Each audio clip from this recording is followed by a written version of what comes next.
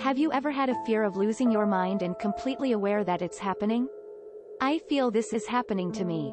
We have only one neighbor to the left of us and behind and to the right is a private community center. This community center is only used on the weekends and a six-foot barred fence separates us. We've lived here for almost two years and for the most part, my husband and I have worked full-time jobs but just a few weeks ago I finally quit and have since started up my own home business. I couldn't wait to finally be home, have enough time for my family and our dog and still make some decent money on the side. The first thing I noticed was how agitated our dog had gotten. We always chalked it up to her being home alone all day and then finally getting to spend the afternoons with us. Being alone for a dog can get pretty depressing I imagine. But it was all during the day. Constantly listening for everything and despite being very well trained and more on the quiet side, she would alert me on the slightest of sounds, people walking down the street, truck going by too fast over the bump, etc. No big deal, just tell her it's okay and move on with my work. It wasn't until two weeks ago that I actually saw for myself what was happening. A drug deal go down inside of the community center parking lot. Quick and easy and one man jumped the fence towards the street and the other disappeared behind the building where another larger wall leads down to a freeway. And it only escalated from there. I noticed meeting spots in front of our house as we have a large tree between our wall and the sidewalk. They would meet up in the parking lot and sometimes 50 feet away from my house next to the building. We even had people, nice neighbors who walk the neighborhood on a regular, warn us about the gangs and drugs and car thefts going on.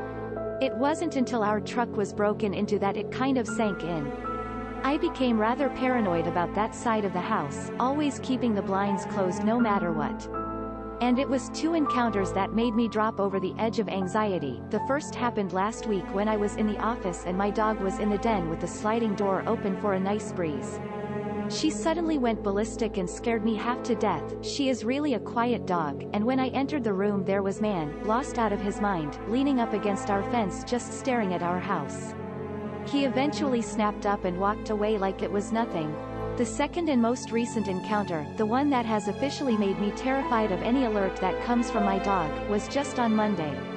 I was in the garage looking for a hammer and I had the roll door all the way up as it's easier to just open it from the house and run out there.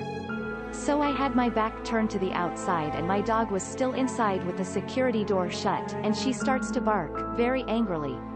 I got scared and turned around to find a high out of his mind, homeless man waltzing into our driveway right up to me. Mind you, I haven't found the hammer yet, didn't bring my phone out with me and the dog is behind a thick door.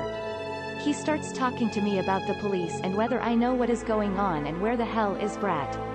I don't even know any Brads. He started coming into the garage when I actually yelled at him, I couldn't control myself I just started yelling at him to go away.